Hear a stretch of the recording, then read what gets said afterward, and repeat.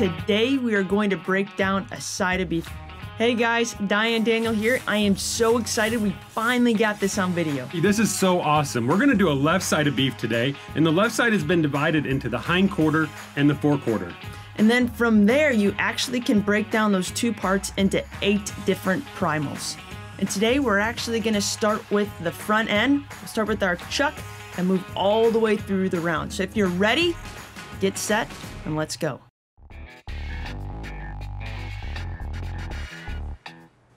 So here's the chuck brisket. And the first thing that we need to do is separate these two primals. We do that where the first rib meets the sternum over top of the brisket. Once we've separated it, we now need to go ahead and take off the brisket. And we do that between a seam underneath the web muscle, also known as the point of the brisket, but above the clod. We don't want to get too deep or we could actually cut into the clod, which would obviously be a big mistake. Now I'm just gonna take this piece and, uh, yep, that was heavy, no big deal, okay? So here I'm actually gonna come in and cut off these chuck short ribs. And what I'll do is make a parallel cut with the saw from the edge that Daniel cut off that brisket.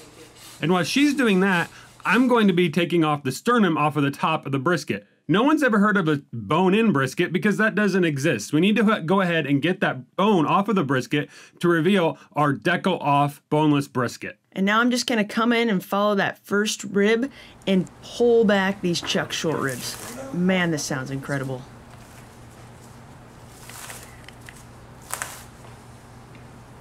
So now I'm just gonna go ahead and take off these neck bones. This is definitely the most challenging part, but for me it's the most fun because I just try to improve every single time I do it. Now that I have those neck bones off, I'm gonna roll the chuck roll off this primal.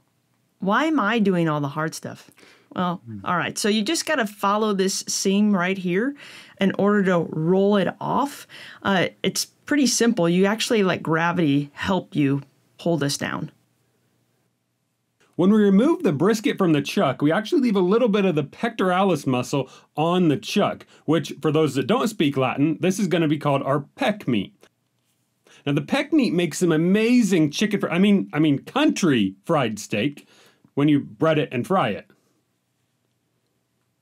Now I'm just removing this big heavy ligament off the back of the chuck roll. That's actually helps hold that big heavy beef head up. So once I remove that, I can come in and break off the chuck flap, cutting about one inch away from that longissimus dorsi. And now I've got this big, beautiful block of boneless short ribs. Those look amazing. Oh, I know. I'm pulling out the mock tender here, and the mock tender is actually kind of tucked into the scapula. So we have to get our knife in there and kind of work around it.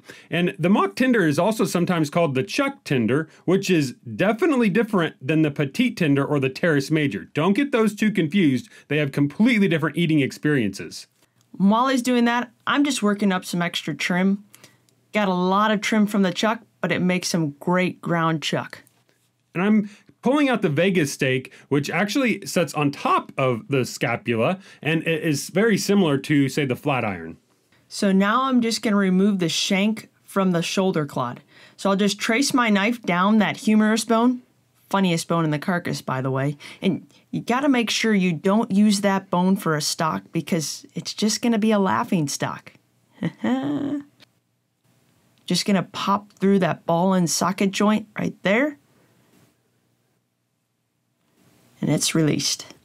She passes that to me so I can actually remove uh, the flat iron is what my end goal here. And the flat iron sits right underneath the scapula. This is probably my favorite part of the carcass fabrication because quite frankly, it makes me feel strong. You can go in here, kind of trace along the scapula, trace underneath this. And then grab onto the end of it and pull this thing up and break that bone right in half. He is strong. Since we removed the scapula, what we're left with is our whole clod. Now, we need to separate this into some different parts. And to start with, I'm removing the top blade. Now the top blade is where our flat irons lived. And that's where we're gonna separate, there's a nice seam that separates our top blade from our clod heart. So that's where I'm gonna give this to Diana to trim up a little bit more. I'm removing the teres major. Now, typically the teres major would not be left on a whole clod. When you buy these in, that's going to be removed at the plant. The teres major actually is probably one of my favorite cuts. It's very tender. And once we get that done, we're going to go ahead and just finish trimming up uh, the clod heart the, and um, all of our other cuts that we've got from this as well. The clod heart is basically denuded, meaning it really has no fat on it um, at all. They call it a block ready clod heart. Now let's review what we've cut. We have the chuck roll, the chuck short ribs, the chuck flap, the pectoral meat, the mock tender, the Vegas steak, the top blade, the blade bone, the teres major, the humerus, the clod heart, the brisket, and the foreshank. Now let's go ahead and break these down a little bit further. We're going to start by breaking the brisket into the flat and the point. And I'm going to go ahead and take apart that chuck roll. So, separating that underblade, cutting some beautiful chuck eye steaks. You can even make some boneless country style short ribs and the ever popular chuck roast. This chuck flap is loaded with marbling. We're going to cut these beautiful Denver steaks. Wow. Those look delicious. We're we're going to have those for dinner tonight. Yeah, that's that's definitely dinner. Easily. Without question. And then I'm just gonna separate this top blade into the two flat irons just by following that seam down and gotta remove all of that silver skin. And the clod heart, once we seam that out, we can actually make some pub or ranch steaks, depending on where you're at in the country of what they're called. But this really makes a fantastic steak option. And look at all those fine flecks of marbling. I love that cut. Even roasting it whole is delicious. And then finally, we just need to make our short ribs a bit fancier. So we're gonna separate those and roll them up and make some beautiful ossobuco style short ribs. Talk about fancy. That's pretty cool presentation. I know, I'm pretty cool. So this is just one way you can break down those subprimals. But look at the variety of steaks that we got from the chuck roll. Those Denver steaks from the chuck flap. You made our ossobuco style short ribs. We got our brisket point and our brisket flat. And then we also got our flat irons and our beautiful pub or ranch steaks. All right, let's get into that rib plate. So the first thing you have to do is go about two inches away from that longissimus dorsi, and we're removing the rib from the plate section. And for those of you that don't speak Latin, she's talking about the ribeye. You need to speak Latin, by the way. I mean, it just makes everything so much simpler if you do. And now I'm going to take the more expensive part here and chine it, meaning we're going to take off that vertebrae column. And normally we would do this, but the bandsaw, and it would only take a couple seconds. But we decided to do this by hand, which is obviously the harder way. Suck it up, Buttercup. Got to get some exercise in, all right?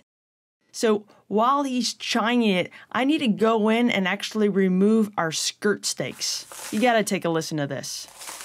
Now, this is a membrane that I need to remove in order to get to my outside and inside skirt steak. So removing that outside skirt steak, it's actually the diaphragm muscle. So it doesn't do a lot of heavy lifting in the animal. It's fairly tender cut um, and just needs a simple salt and pepper to have it taste good. And by fairly tender, she means extremely tender. Now that inside skirt steak, that actually is the muscle that holds up the big heavy rumen. So it needs a bit more of an acidic marinade in order to help break it down, but still a cut that's loaded with flavor and just great to use in a lot of Latin dishes. And I'm taking off the meaty back ribs, which if you put these in a smoker and let them set salt and pepper, they make amazing dish. We just had them a week ago for dinner. They were they were incredible. Thanks. For the cap and wedge meat, that actually sits right underneath the ribeye or that rib primal. And these make a fantastic thin meat option, especially for some of our value added processors. Now let's make some plate short ribs. I gotta come to the edge of that serratus ventralis and just make a parallel cut to the other cut that Daniel had with the rib separation. So now I'm making my beef belly and separating off those short ribs. And look at that marbling. It is incredible. I'm just going to remove this lifter meat that sits on the back of those plate short ribs.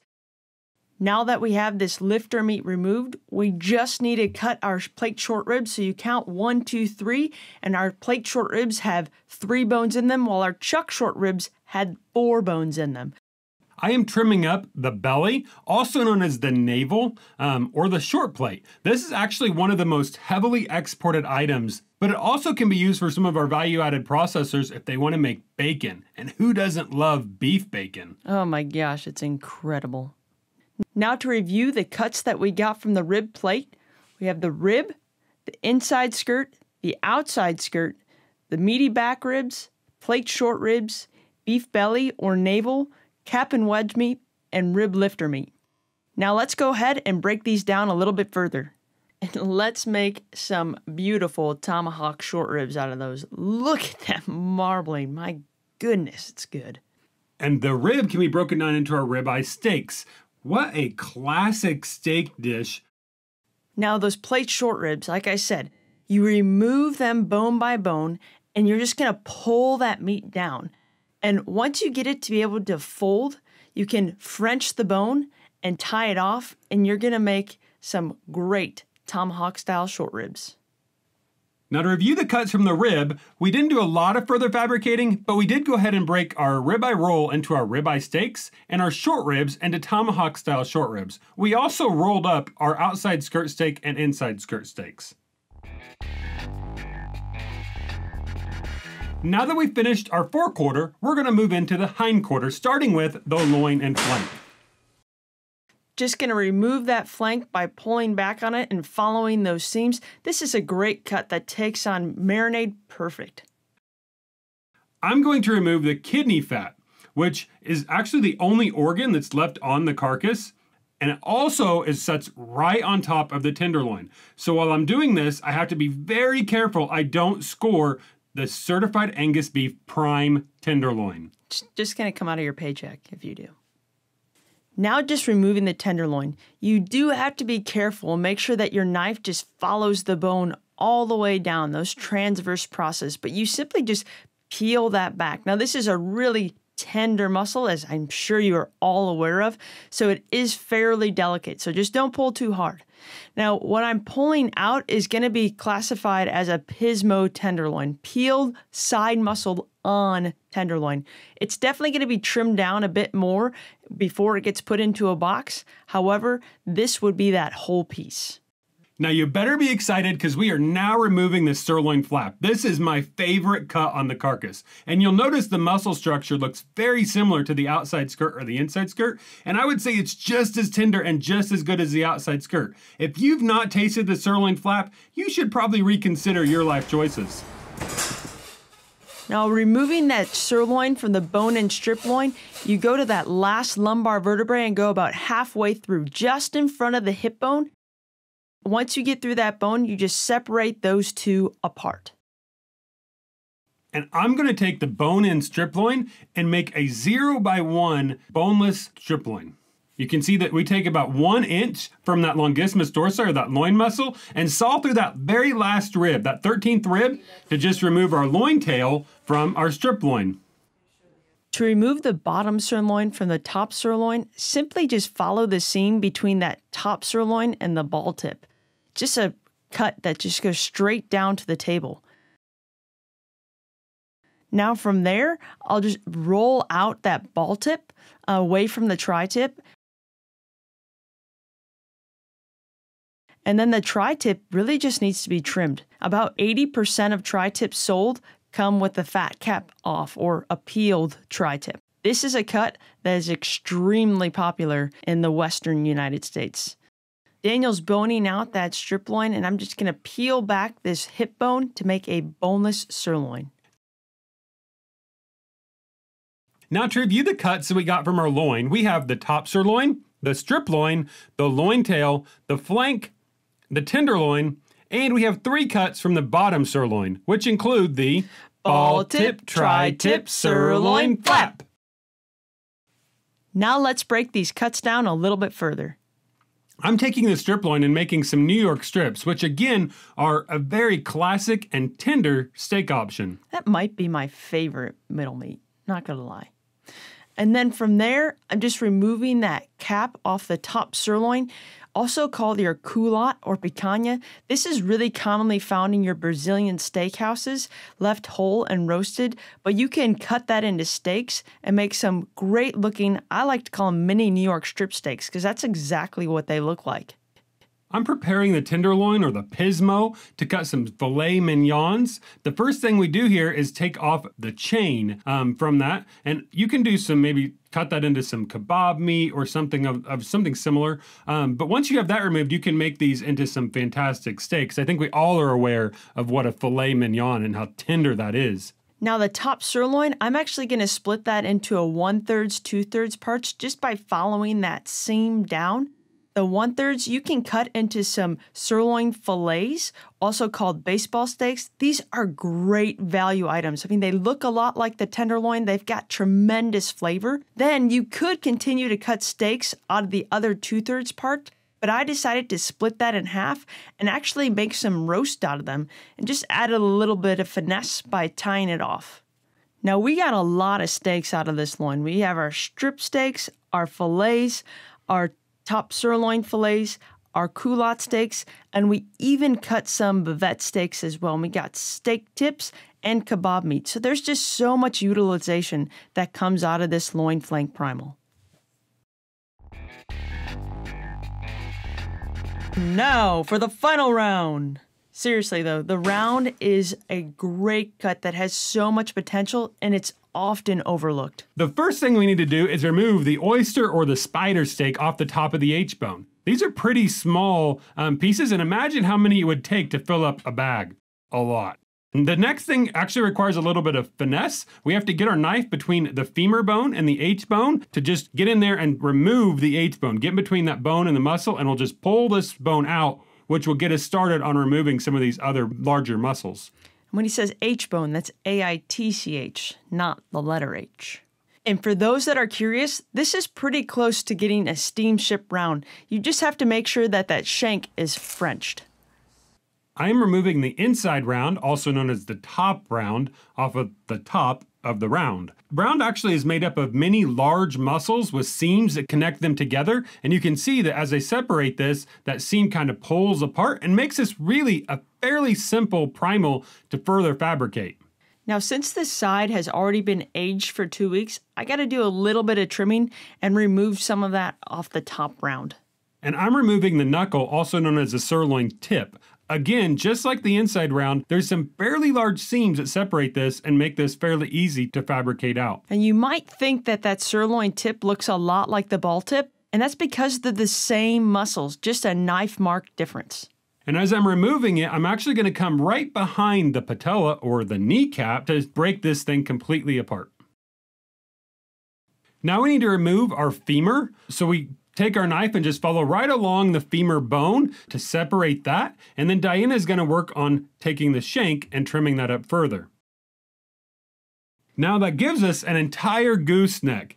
And the gooseneck is actually three different pieces. And that's what we're going to do is break it down into those three different pieces, starting with the heel. The heel sets right along that the one side of the bottom round flat, so we need to go right along the seam.